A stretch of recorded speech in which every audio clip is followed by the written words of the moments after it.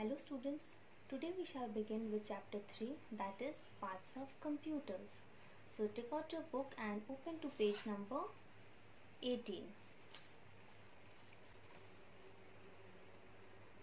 We all know that a body consists of different parts like eyes, ears, nose, hands and legs. In the same way, computer also has different parts like monitor, keyboard, mouse, CPU and printer. So today we will discuss one by one about these parts. Monitor. You can see the picture of monitor on your screen. A monitor looks like a television. We can see pictures on the monitor.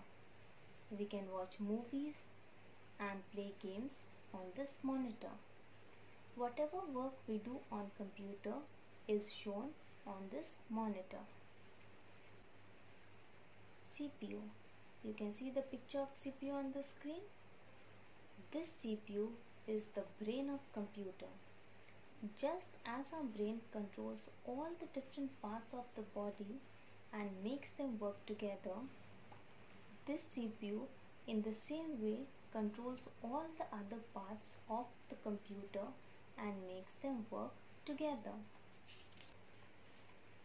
Keyboard. You can see the picture of keyboard on your screen. What do you see? There are so many alphabets and numbers on this keyboard. So you can see the buttons. These buttons are known as keys. And this keyboard is used to type letters and numbers. Suppose we want to write something in a copy, we use our pencil. But in computer, whatever we want to write, we have to type using this keyboard. And then whatever we will type, it is displayed on the monitor. Mouse. A mouse has two buttons and a scroll wheel. We can point and select using mouse. We can draw pictures and play games with the help of mouse. Now we will discuss the additional devices that is connected to the computer. Now first additional device is speaker. This speaker is used to listen songs on the computer. Printer. Printer is used to take out the print of images and documents from the computer. Scanner. Scanner is used to scan documents and images and convert it into digital form.